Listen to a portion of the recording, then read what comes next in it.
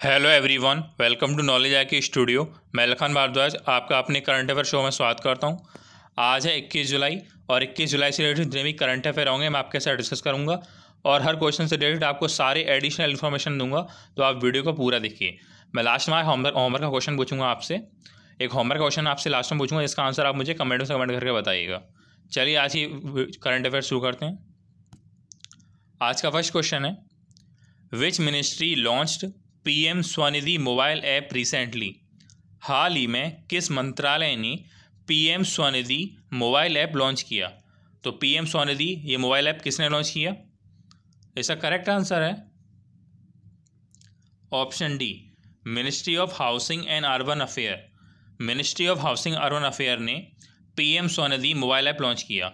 ये पीएम स्वनिधि योजना स्कीम के अंतर्गत आता है। देखिए इसके बारे में। प्रधानमंत्री स्वनिधि योजना के तहत डेढ़ लाख से अधिक रेडी पटरी वाले और फेरी लगाने वाले दुकानों के को कर्ज के लिए अप्लाई किया, जो स्वनिधि स्कीम थी उसके अंतर्गत इसमें पचास हज़ार को मंजूरी दे दी गई और मोदी सरकार ने इस स्कीम के बाद जो प्रधानमंत्री स्वनिधि योजना स्कीम निकाली थी, इसमें डेढ़ लाख से लोगों ने आवेदन किया, उसमें से पचास हज़ार लोगों को मंजूरी दे दी गई। अब मोदी सरकार ने एक नया तोहफा देते हुए PM Svanidhi mobile app launch किया। PM Svanidhi mobile app launch किया, जिसके अंतर्गत पीएम स्वनिधि स्कीम के तहत माइक्रो क्रेडिट की सुविधा रेडी पटरी वालों के दरवाजे तक पहुँच जाएगी। मतलब रेडी पटरी वाले मोबाइल के थ्रू अपनी एक माइक्रो क्रेडिट ले सकेंगे, लोन ले सकेंगे। पीएम स्वनिधि मोबाइल ऐप का लक्ष्य लोन देने वाले संस्थानों को यूज़र फ्रेंडली डिजिटल इंटरफेस उपलब्ध कराना और रेडी पटरी वालों को लोन एप्लीकेशन की सोर्सिंग और प्रोसेसिंग कर सकें, इसके लिए लॉन्च किए। तो किसने लॉन्च किए? Ministry of urban and home affair home affair ने। PM Svanidhi mobile app. ध्यान रखिएगा। Move next question which state has launch the new employment umbrella scheme for schedule caste किस राज्य ने अनुसूचित जातियों के लिए नवीन रोज़गार छतरी योजना शुरू की? तो नवीन रोज़गार छतरी योजना किस राज्य ने शुरू की? इसका करेक्ट आंसर है ऑप्शन बी उत्तर प्रदेश राज्य। उत्तर प्रदेश ने अनुसूचित जातियों के लिए शेड्यूल कास्ट के लिए नवीन रोज़गार छतरी योजना शुरू की न्यू एम्प्लॉयमेंट अम्ब्रेला स्कीम देखते हैं इस इस, इस न्यूज़ के बारे में। मुख्यमंत्री योगी आदित्यनाथ यूपी के मुख्यमंत्री कौन है? योगी आदित्यनाथ उन्होंने शनिवार को अपने सरकारी आवास पर अनुसूचित जाति के गरीब व्यक्तियों के सर्वांगीण विकास के लिए नवीन रोज़गार क्षेत्रीय योजना का शुभारंभ किया। सरकार का जो लक्ष्य है तो सरकार सबका साथ, सबका विकास के मूल मंत्र के तहत कार्य कर रही है। किस प्रकार कर रही है? सबका साथ, सबका विकास, सबका विश्वास, इसके मूल मंत्र पर कार्य कर रही है। और इस अवसर पर पंडित दीनदयाल उपाध्याय स्वरोजगार योजना के तीन हज़ार चार सौ चौरासी इतने लाभार्थियों के खाते में सत्रह करोड़ बयालीस लाख रुपए ऑनलाइन ट्रांसफ़र किए इस मुख्यमंत्री योगी आदित्यनाथ ने और मुख्यमंत्री जी ने रायबरेली, गोरखपुर, बस्ती, मेरठ, आजमगढ़ और मुरादाबाद के लाभार्थियों से वीडियो ऑनलाइन संवाद भी किया, कन्वर्जन किया। लाभार्थी इस राशि का उपयोग जो ये इस, इसके थ्रू जो राशि मिलेगी, इसके थ्रू जो लोन मिलेगी, उसका उपयोग परचून की दुकान generator set laundry dry dry cleaning cyber cafe tail tailoring banking correspondent tent house और गौपालन आदि के लिए करेंगे। ये सारे काम इस यो इसमें जो लोन है इसमें इस, इस सारे काम कर सकेंगे। हम उत्तर प्रदेश की बात कर रहे हैं। उत्तर प्रदेश की जो कैपिटल वो लखनऊ है। मुख्यमंत्री योगी आदित्यनाथ और राज्यपाल आनंदीबेन पटेल। ध्यान रखिएगा। Move next question United Nations celebrate world chess day globally every year on which date संयुक्त राष्ट्र हर साल विश्व शतरंज दिवस को किस तारीख को मनाता है? तो विश्व शतरंज दिवस वर्ल्ड चेस डे कब मनाया जाता है? इसका करेक्ट आंसर है। ऑप्शन सी बीस जुलाई। ट्वेंटी जुलाई को विश्व भर में वर्ल्ड चेस डे विश्व शतरंज दिवस मनाया जाता है। देखते हैं इस न्यूज़ के बारे में। संयुक्त राष्ट्र द्वारा हर साल 20 जुलाई को वर्ल्ड चेस डे यानी विश्व शतरंज दिवस मनाया जाता है। यह दिन अंतर्राष्ट्रीय शतरंज संघ के 185 सदस्यों मतलब एक देशों के द्वारा मनाया जाता है। कितने देश शामिल होते हैं इसमें? वन एटी फाइव पूरे विश्व में मनाया जाता है। यह दिन मनाया क्यों जाता है? तो 1924 में स्थापना हुई थी किसकी? अंतर्राष्ट्रीय शतरंज महासंघ इंटरनेशनल चेस फेडरेशन फाइड की स्थापना हुई थी पेरिस में, और उसके उपलक्ष्य में ही ये दिन मनाया जाता है अंतर्राष्ट्रीय चेस डे किसके लिए अंतर्राष्ट्रीय शतरंज महासंघ की स्थापना हुई थी? 1924 में ध्यान रखिएगा, कहाँ पे? पेरिस में। और उसके लिए मनाया जाता है जिसका लक्ष्य अच्छा इसको मनाने का लक्ष्य है शतरंज कार्यक्रमों के लिए सहयोग और दुनिया के सभी लोगों के बीच मैत्रीपूर्ण सुधार आ सके। अंतर्राष्ट्रीय शतरंज दिवस 2020 मनाने के लिए शीर्ष शतरंज खिलाड़ी, एक उच्च स्तरीय आभासी कार्यक्रम, चेस फॉर रिकवरिंग बैटर में हिस्सा लेंगे। किस गेम में हिस्सा लेंगे? Chess for recovering better. ध्यान रखिएगा। संयुक्त राष्ट्र द्वारा ये दे मनाया जाता है। तो संयुक्त राष्ट्र के महासचिव कौन है? Antonio Guterres. और FIDE international chess federation FIDE के अध्यक्ष कौन है? Arkady Dvorkovich. ध्यान रखिएगा। Move next question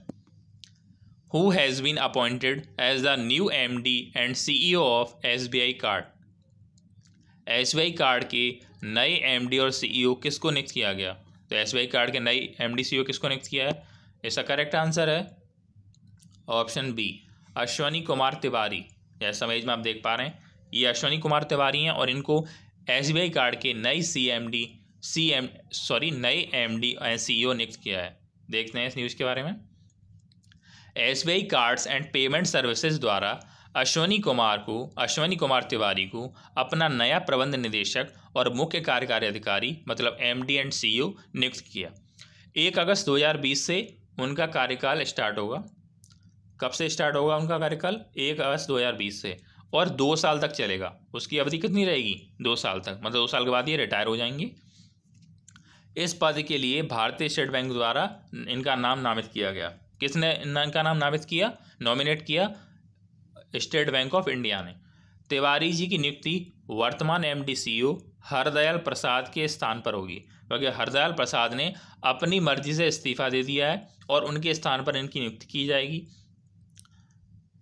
भारतीय स्टेट बैंक की बात कर रहे हैं हम। भारतीय स्टेट बैंक के जो अध्यक्ष हैं वो रजनीश कुमार हैं और मुख्यालय मुंबई में है हेडक्वार्टर और स्थापना का एक जुलाई nineteen nine first July nineteen fifty five को। मतलब एक जुलाई उन्नीस सौ पचपन को स्थापना हुई थी S B I S B I की move next question winner famous footballer Andre Schurrle has announce retirement from the sports held from which country विश्व कप विजेता, प्रसिद्ध फुटबॉलर आंद्रे सूरले ने किस देश से आयोजित खेल से सेवानिवृत्ति ली है। मतलब रिटायरमेंट की घोषणा की है। ये फुटबॉलर हैं, आंध्र सूर्य, और इन्होंने रिटायरमेंट की घोषणा की। अब आपको ये बताना है कि ये किस देश से हैं? ऐसा करेक्ट आंसर है? ऑप्शन बी ये जर्मनी के हैं। कहाँ के हैं? जर्मनी के। देखते हैं इस न्यूज़ के बारे में। जर्मनी फॉरवर्ड खिलाड़ी और विश्व कप विजेता टीम के सदस्य। सॉरी विश्व कप टीम कप विजेता टीम के सदस्य आंद्रे सूले सॉरी, ने फुटबॉल से संन्यास लेने की घोषणा की। किसने? आंदे सूर्य ने। ये जर्मनी के हैं। कहाँ के हैं? जर्मनी के फॉरवर्ड खिलाड़ी हैं और विश्व कप विश्व कप विजेता टीम के सदस्य हैं। उन्होंने 2014 में अपने देश के लिए फीफा विश्व कप जीतने में अहम भूमिका निभाई। मतलब इसका मतलब ये है 2014 में जर्मन जीता था फीफा विश्व कप आपको यहाँ से ये नॉलेज मिलती है। उन्होंने जर्मनी के लिए सत्तावन मैचों में बाईस गोल बनाए कितने? फिफ्टी सेवन मैचेस में ट्वेंटी टू गोल किए उन्होंने। इसके अलावा 2013 से 15 तक चेल्सी के लिए खेले और 2015 में प्रीमियर लीग विजेता पदक भी जीता था इन्होंने। Next question which state government announced renewable energy export policy 2020 recently किस राज्य सरकार ने हाल ही में अक्षय ऊर्जा निर्यात नीति 2020 की घोषणा की। तो किस राज्य ने की है? इसका करेक्ट आंसर है ऑप्शन डी आंध्र प्रदेश ने। आंध्र प्रदेश ने अक्षय ऊर्जा निर्यात नीति 2020 रिन्यूअल एनर्जी एक्सपोर्ट पॉलिसी 2020 की घोषणा की। देखते हैं इस न्यूज़ के बारे में। आंध्र प्रदेश राज्य सरकार ने शुक्रवार को अक्षय ऊर्जा निर्यात नीति 2020 की घोषणा की। इसके अंतर्गत solar wind sorry, solar wind मतलब नीति सौर विंड और विंड सोलर हाइब्रिड प्रोजेक्ट, जो पवन, सौर संकर जो परियोजना है, हाइब्रिड प्रोजेक्ट हैं, जितने भी सोलर सोलर के, उस पर लागू होगी ये योजना। इस नीति के तहत, इस योजना के तहत राज्य में भूमि का उपयोग अक्षय ऊर्जा परियोजनाओं के लिए प्रभावी रूप से किया जाएगा। हम आंध्र प्रदेश की बात कर रहे हैं। आंध्र प्रदेश के जो सीएम है, वाई एस जगनमोहन रेड्डी और वहाँ के गवर्नर हैं विश्वभूषण हरिचंदन। तो ध्यान रखिएगा। Next question who has won the formula one Hungarian Hungarian grand prix 2020 formula one Hungary grand prix 2020 किसने जीता? तो हंगरी ग्रांड प्रिक्स 2020 किसने जीता? इसका करेक्ट आंसर है ऑप्शन बी लुइस हैमिल्टन जैसा हमारे आप देख पा रहे हैं लुइस हैमिल्टन ने formula one Hungary grand prix 2020 को जीत लिया। देखते हैं इस न्यूज़ के बारे में। छः बार के formula one champion, Mercedes team के ड्राइवर लुइस हैमिल्टन। अब आपको यहाँ से ये नॉलेज मिलेगी कि लुइस हैमिल्टन, एक तो मर्सिडीज़ के ड्राइवर हैं, मर्सिडीज चलाते हैं और छः बार के फॉर्मूला वन के विजेता हैं। तो उन्होंने अपना हंगरी ग्रांड प्रिक्स अपने नाम किया। इस जीत के साथ हैमिल्टन किसी एक सर्किट पर सबसे ज़्यादा बार खिताब जीतने वाले दिग्गज माइकल शुमाकर का रिकॉर्ड की बराबरी कर ली। इनसे पहले वो रिकॉर्ड किसके नाम था? माइकल शुमाकर के। और उनके बराबरी कर लिया उन्होंने। हैमिल्टन का यह आठवां हंगरी ग्रांड प्रिक्स खिताब था। किस नंबर का था? मतलब आठवीं बार जो उन्होंने जीता, जबकि शुमाकर ने आठ बार फ्रेंच ग्रांड प्रिक्स की खिताब जीता है। वहीं हैमिल्टन की जो कुल अड़तालीस, सॉरी एटी सिक्स वी ग्रांड प्रिक्स जीत है। कितने उन्होंने ग्रांड प्रिक्स जीते हैं अब तक? Eighty six. ध्यान रखिएगा, एटी सिक्सवीं ग्रांड पिक्स जीत है। अब वह सबसे ज़्यादा ग्रांड पिक्स जीतने के, शुमाकर के इक्यानवे रिकॉर्ड से पाँच जीत की दूर हैं। मतलब जो सबसे ज़्यादा ग्रांड पिक्स जीते हैं फार्मूला वन के, वो माइकल शुमाकर ने जीते हैं और उनसे पाँच स्थान दूर हैं अभी। नाइन्टी वन रिकॉर्ड बनाए थे माइकल शुमाकर ने तो उनके पाँच स्थान दूर हैं वो। कौन? Lewis Hamilton. और ये इन्होंने कौन सा अभी जीता है? Hungary grand prix move next question name the automotive automotive sorry automotive technology portal launched by international centre of automotive technology I C A T recently हाल ही में international centre of of automotive technology I C A T द्वारा launch किए गए automotive technology portal का नाम बताइए। मतलब आई C A T ने एक पोर्टल लॉन्च किया है ऑटोमोटिव टेक्नोलॉजी पोर्टल। उसका नाम बताना है आपको। तो इसका करेक्ट आंसर है ऑप्शन बी एस्पायर जैसा मैं आप देख पा रहे हैं। एस्पायर नाम का ऑटोमोटिव टेक्नोलॉजी पोर्टल लॉन्च किया है आईसीएटी ने। मतलब ऑटोमोटिव टेक्नोलॉजी पोर्टल लॉन्च किया है किसने? International centre of automotive technology ने। देखते हैं न्यूज़ के बारे में। International centre for automotive technology ICAT द्वारा automobile solutions portal for industries, research and education मतलब एस्पायर यह समझ में देख पा रहे थे। देखिए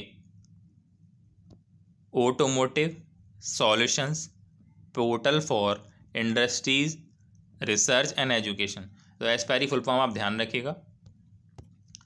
तो ये ई पोर्टल लॉन्च किया है, किसने? आई सी ए टी ने। यह पोर्टल जानकारी विशेषज्ञता के आदान प्रदान मदद से भारतीय मोटर वाहन उद्योग की तकनीकी क्षमता में सुधार लाने और उन्हें आत्मनिर्भर बनाने में मदद करेगा। सामाजिक, आर्थिक प्रगति सहित ऑटोमोबाइल क्षेत्र के विकास को सक्षम करने के लिए ये लॉन्च किया है। किसके लिए? ऑटोमोबाइल क्षेत्र के लिए लॉन्च किया गया है। वो next question who among the following are the winners of Nelson Mandela prize 2020 निम्नलिखित में से कौन नेशनल मंडेला पुरस्कार 2020 के विजेता हैं। तो 2020 नेशनल मंडेला पुरस्कार के विजेता कौन है? तो इसका करेक्ट आंसर है option D both first and second मतलब दोनों एक दो। ये दोनों, मैरियाना वर्जनोयस और मोरिस, मोरिसाना काइटे मोरिसाना काइटे और मैरियाना वर्जनोयस। ये दोनों 2020 नेल्सन मंडेला पुरस्कार 2020 के विजेता हैं। देखते हैं। गिनियन डॉक्टर मोरिसाना काइट और ग्रीस की मारियाना वर्दिनॉइस को 2020 नेशनल मंडेला पुरस्कार विजेता चुने गए। ये दोनों। संयुक्त राष्ट्र महासभा के अध्यक्ष तेजानी मोहम्मद बंदे ने पुरस्कार के विजेताओं की घोषणा की, जो उन व्यक्तियों को सम्मानित करने के लिए दिया जाता है, जो मानवता की सेवा के लिए अपना जीवन समर्पित करते हैं। मोरिसाना काइट के बारे में देखते हैं। मोरिसाना काइट अफ्रीका में महिलाओं के खिलाफ हिंसा को समाप्त करने के प्रयासों में एक अग्रणी व्यक्ति हैं, जिसमें female genital mutilation F G M भी शामिल है। उन्हें अपने काम के लिए कई अंतर्राष्ट्रीय मानवीय पुरस्कार मिले हैं। मारियाना वर्दी नाइनिस की बात करें। वर्दी वर्दी नाइनिस पिछले तीस वर्षों से बच्चों को होने वाले कैंसर के खिलाफ लड़ाई में शामिल हैं। उनकी मेहनत से हज़ारों बच्चे ठीक हो चुके हैं। तो ये एडिशनल इन्फॉर्मेशन आपको इस क्वेश्चन से मिली। तो ध्यान रखिएगा नेशनल मंडेला 2020 का पुरस्कार किसको मिला है? मोरिसाना काइट को और मरियाना वर्दी नाइनस को। Move next question recently Rajat Mukherjee has passed away इनका नाम क्या है? रजत मुखर्जी और ये इनका निधन हो गया है। ये किस क्षेत्र से संबंधित हैं? आपको बताना है। Recently Rajat Mukherjee passed away he was related to which field Rajat Mukherjee का निधन हो गया। किस क्षेत्र से संबंधित है? जैसा मैं देख पा रहे हैं, रजत मुखर्जी हैं और ये कौन थे? तो इसका करेक्ट आंसर है सी ये डायरेक्टर थे, एक बॉलीवुड फ़िल्म निर्देशक थे। देखते हैं इनके बारे में। रोड प्यार तू ने क्या किया और लव इन नेपाल जैसी फ़िल्मों का निर्देशन करने वाले रजत मुखर्जी का निधन हो गया। इन्हें कौन से कौन से फ़िल्म दी थी? रोड प्यार तूने क्या किया, लव इन नेपाल, ऐसी मूवीज़ दी थी इन्होंने रजत मुखर्जी ने। इन्होंने निर्देशन किया था उनका। पिछले कुछ समय से किडनी की बीमारी से जूझ रहे थे। उनकी पचास वर्ष से अधिक उम्र थी। कितनी उम्र थी? पचास वर्ष से अधिक थी। उन्हें 2001 में रिलीज़ हुई। उन्होंने कौन सी रिलीज़ की? प्यार तूने क्या किया 2001 में? और विवेक ओबराय और अंतरा माली अभिनीत सड़क जैसी फ़िल्मों का निर्देशन किया, जो 2002 में रिलीज़ हुई थी। सड़क कब रिलीज़ हुई थी? 2002 में। तो इनका निर्देशन करने वाले रजत मुखर्जी का निधन हो गया। वो नेक्स्ट क्वेश्चन सॉरी कल मैंने आप जो हमारा क्वेश्चन दिया था, उसका आंसर ये है। Which company plan to acquire hundred percent stake in Orchestra Tech for about one eighty seven crore किस कंपनी ने ऑर्केस्ट्रा टेक में लगभग एक सौ सतासी करोड़ में सौ परसेंट हिस्सेदारी हासिल करने की योजना बनाई? इसके बारे में बहुत से लोगों ने ज़्यादा से ज़्यादा लिखा। मैं आपसे बोलता हूँ कि जो मैं क्वेश्चन देता हूँ, उसके बारे में ज़्यादा से ज़्यादा लिखा करिए। आपको ये क्वेश्चन डेली याद हो जाएगा, ऐसे। तो इसका करेक्ट आंसर है option C L N T L N T ने ऑर्केस्ट्रा टैग में लगभग एक सौ सतासी करोड़ में सौ परसेंट हिस्सेदारी हासिल की। देखते हैं इसके बारे में। L N T technology services की इंजीनियरिंग सेवा शाखा ने जानकारी दी कि टेक्सॉस स्थित ऑर्केस्ट्रा टेक्नोलॉजी में सौ परसेंट हिस्सेदारी का अधिग्रहण करेगा। और सौ परसेंट हिस्सेदारी ले लेगा कौन? एल एन टी यह अधिग्रहण पच्चीस मिलियन अमेरिकी डॉलर या एक सौ सतासी करोड़ रुपए में नगद सौदा है कितने रुपए में? या तो पच्चीस मिलियन अमेरिकी डॉलर, या लगभग एक सौ सतासी करोड़ रुपए में। हम एलएनटी की बात कर रहे हैं। तो एलएनटी के जो चीफ एग्जीक्यूटिव ऑफिसर मतलब सी और जो एमडी हैं, वो हैं एस एन सुब्रमण्यम। कौन है? एस एन सुब्रमण्यम है एलएनटी के सी और एन एम ध्यान रखिएगा। आज का होमवर्क क्वेश्चन है जो आपको मैं दे रहा हूँ। इसके बारे में कमेंट बॉक्स में कमेंट करके बताइएगा।